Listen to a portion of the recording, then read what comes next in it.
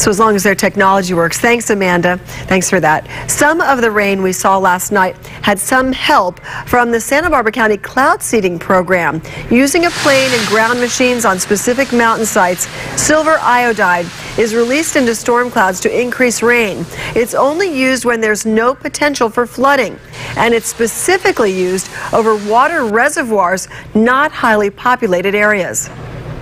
And that's the tributary area to the Cachuma, Gibraltar, Juncal reservoirs. Uh, Twitchell Reservoir uh, has a lot of capacity. We'd love to fill up Twitchell for the Santa Maria Valley. And then the Santa Maria uh, uh River watershed up in the Sisquoc area is also a target area. That's where a lot of our groundwater recharge comes for the Santa Maria Valley. All backcountry.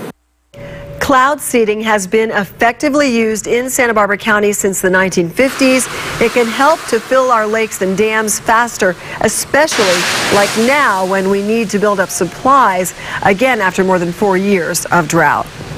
Thieves broke into a surf shop in Santa Barbara's